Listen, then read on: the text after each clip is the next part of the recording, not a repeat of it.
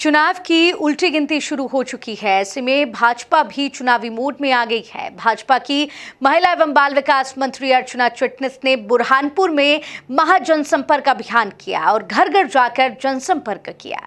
देखिए रिपोर्ट। विधानसभा चुनाव की रणभेरी बजते ही प्रदेश में चौथी पारी के लिए भाजपा ने मैदान संभाल लिया। आचार संहिता लगने के बाद प्रदेश की महिला एवं बाल विकास मंत्री अर्चना चिटनेस बुरहानपुर पहुँची, जहाँ कार्यकर्ताओं ने धूमधाम से उनका स्वागत किया।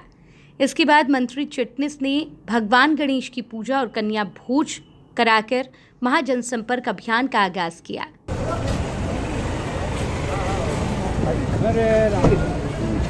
द्वादशमन्तु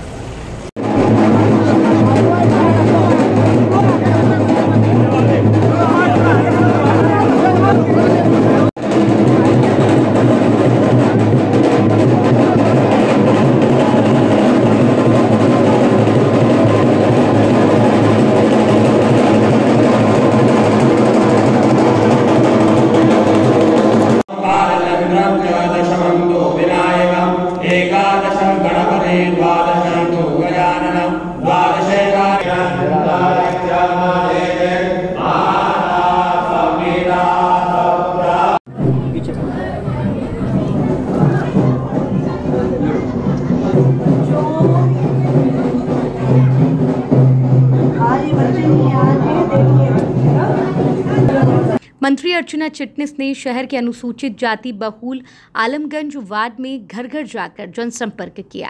इस दौरान मीडिया से चर्चा के दौरान मंत्री मैडम अब की बार दो पार का नारा बुलंद करते हुए नज़र आईं। साथ ही कार्यकर्ताओं की जोश और उत्साह की तारीफ़ भी की। अब की बार 200 पार।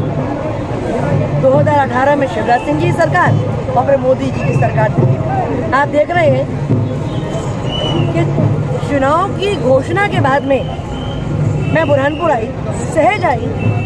पर कार्यकर्ताओं की जो उत्साह और उमंग है, वो इस बात का द्योतक है, वो इस बात को प्रमाणित करता है कि बिगुल बच चुका है और सेना जंग के लिए, जीत के लिए तैयार है। गौरतलब है कि 2018 में भाजपा की सरकार बनाने के उद्देश्य से अमित शाह ने महाजनसंपर्क अभियान का आगाज़ किया है।